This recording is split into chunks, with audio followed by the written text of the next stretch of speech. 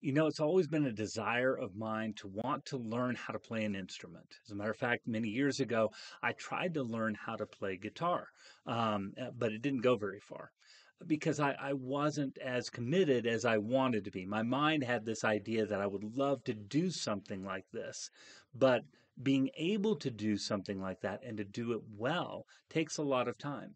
My son, on the other hand, is a very accomplished pianist. And the reason why he's an accomplished pianist is because he has taken the time to learn how to play piano over many years period of time. And while many people uh, admire the way that he plays today and might wish to want to learn how to play how he does, when he started, he didn't sound that good. As a matter of fact, he sounded bad.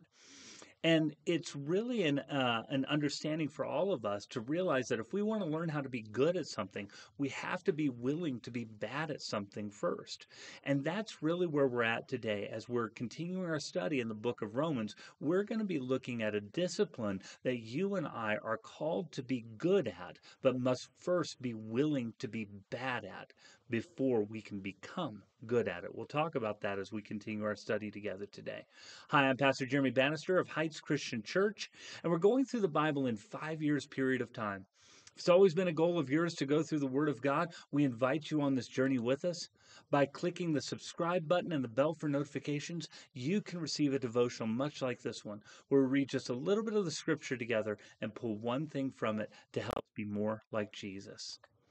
Well, as we continue our study through the book of Romans, uh, Paul continues on his desire to see the people of Israel saved. Uh, but in order for them to be saved, something has to happen. He talks about that through chapter 10 today, and we're going to discuss it a little bit more and how it impacts us as well.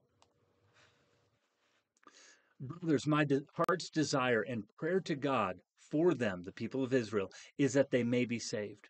For I bear them witness that they have a zeal for God, but not according to knowledge. For being ignorant of the righteousness of God and seeking to establish their own, they did not submit to God's righteousness. For Christ is the end of the law for righteousness to everyone who believes. For Moses writes about the righteousness that is based on the law, that the person who does the commandments shall live by them. But the righteousness based on faith says, do not say in your heart, Who will ascend to heaven? That is to bring Christ down. Or, Who will descend into the abyss? That is to bring Christ up from the dead. But what does it say? The word is near you, in your mouth and in your heart. That is the word of faith that we proclaim. Because if you confess with your mouth that Jesus is Lord and believe in your heart that God raised him from the dead, you will be saved. For with the heart one believes and is justified, and with the mouth one confesses and is saved. For the scripture says, Everyone who believes in him will not be put to shame. For there is no distinction between Jew and Greek. For the same Lord is Lord of all, bestowing his riches on all who call on him. For everyone who calls on the name of the Lord will be saved. How then will they call on him whom they have not believed? And how are they to believe in him of whom they have not heard? And how are they to hear without someone preaching? And how are they to preach unless they are sent? As it is written, How beautiful are the feet of those who preach the good news. But they have not all obeyed the gospel, for Isaiah says, Lord, who has believed what he has heard from us?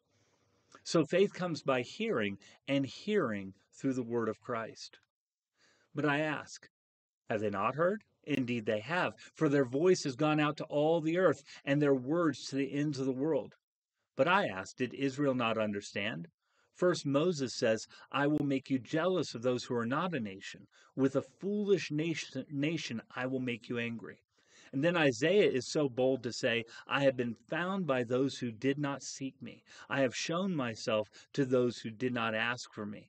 But of Israel, he says, all day long I have held my hands to a, held out my hands to a disobedient and contrary people. And so we see in this passage of scripture the longing, the continued longing of Paul for the people of Israel to come to know Jesus because they've rejected God's righteousness that comes through Christ, who is the end of the law. And so what we see is he says, How are these people going to hear? The only way that they're going to hear is if somebody preaches to them, if somebody is sent to them. And that's what you and I have. You and I have a commission from God. You know, Matthew chapter 28, verses uh, 18 through 20, when Jesus is uh, leaving, he leaves this great commission. He says, All authority in heaven and on earth has been given to me. Therefore, go and make disciples of all nations baptizing them in the name of the Father and of the Son and of the Holy Spirit, and teaching them to obey everything I've commanded you and surely I'm with you always, even to the very end of the age. So, this is what Jesus tells us to do that we're supposed to go out and preach the good news of Jesus Christ, make disciples of other people. But the only way that we're going to be able to make disciples is if we're telling them. And this is what Paul says. You know, how can they hear unless somebody goes? And in order for us to be good at sharing our faith, we have to first be willing to be bad at sharing our faith. You know, I, I understand a lot of people have fear and trepidation when it comes to sharing their faith in Jesus Christ. And the first time you do it, you may not do it the best way possible. But I would rather a person who is willing to learn to get better at it by continuing to do it than waiting to be perfect at it before doing it once. You, get the understanding, the difference between the two? Because even if you're perfect at it, there are going to be people who reject you, who don't who don't share uh, the conviction of Jesus Christ, who will not believe no matter how well you present the material. It doesn't have as much to do with your presentation as it does your faithfulness.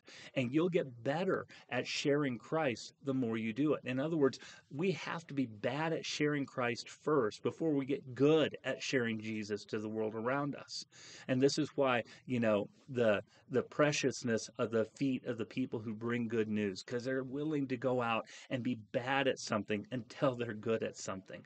My son is was bad at playing piano. You're going to have to trust me because all you hear is the greatness of how he does now.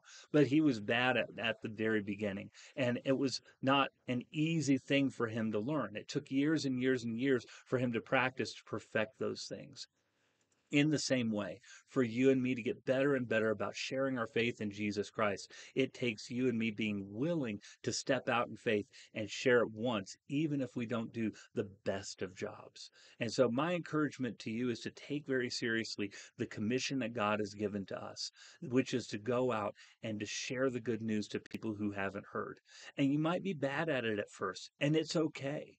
But guess what? The more you do it, the easier it will be. And the easier it is, the more you're going to do it. That's that's the beauty of it. My son plays music all the time now because he kept doing it over and over and over again when he was bad. So now he's really good at it. So let's get bad at sharing our faith so we can get good at sharing our faith. I hope that encourages you today uh, to live for Him and maybe to test out your your bad sharing of your faith to your friends and your coworkers and the people you're going to meet this day. That's the only way you and I are going to get better at it. God bless you. We will talk with you again tomorrow.